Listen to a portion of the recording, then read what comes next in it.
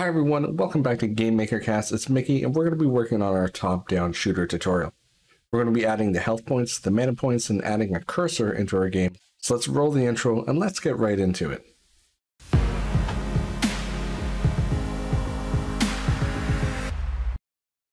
So the first thing we're going to be adding is the health and the mana points. So just to give you a quick overview, if we open up the object init, we have a maximum mana and a maximum health points that we're going to be referencing. So we can close this and open up our character itself. And what we're going to be working on is the create event for now. We want to have the ability to know what our current health points are at. So we'll make a new variable called health points current. And we'll set that to the global health points max. We'll do the same thing for our mana. We'll say mana underscore current and set it to the global dot mana max. Next, we need a way to display this on our character. So let's switch over to the draw event. So you can see that we have the body, the hair, and the clothes. So what we need to do is we need to draw the mana, and then we need to draw the health points. Now we're not going to be using the regular draw health bar. I have a script that's already included. We go to our scripts and we look at the draw health bar thick. You can see that we're passing in an X and a Y coordinate the width, the height, the thickness, what color we want to draw it, and then the percentage. And the percentage is going to be between 0 and 1. All we're going to do is draw a black outline around everything and then fill the inside with whatever percentage that we are currently passing in. So that means if we go back to the draw event, we need to figure out the percent for our mana and our hit points. This is pretty easy. We can just have a variable called percent.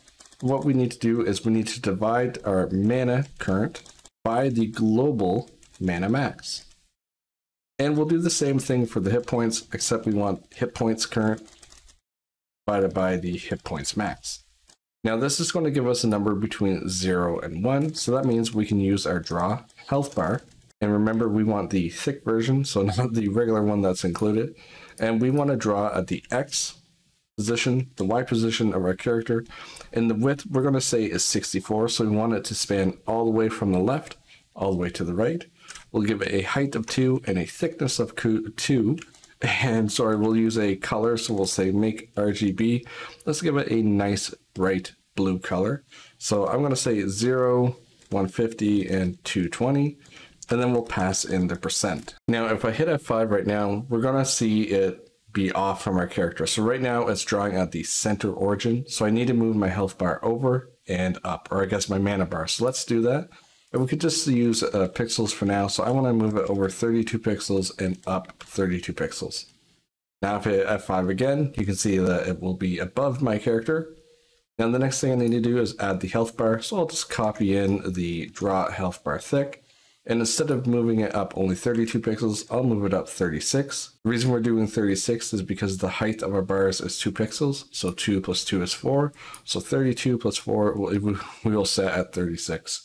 And for the health, I'll use a bright red color. So I'll set the red color to 255 and then the rest to zero. If I hit F5 now, we should see a mana bar and a health bar. And you can see that I can move around and it will automatically stay with my character. Now, what if we want to move this mana bar or health bar up and down? Well, to do that, we'll add a new event. Let's do a key up and add the space key. Now in here, let's say we are going to use the hit points current and we'll just take away one of the hit points. So if I hit F5 now, yes, this is going to work and it's going to look something like this, where it's just very, it's going really quickly. It's not really smoothed out. So let's fix this and add a little bit of smoothing in there.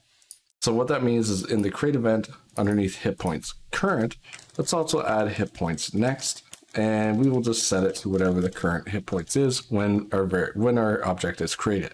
So we're going to be using this hit points next to smooth the value of whatever our current value is. Now that may seem a little bit weird, but in the end, just hang with me. We'll go to a region and we'll set this up as hit points and make sure we're doing it in the step events.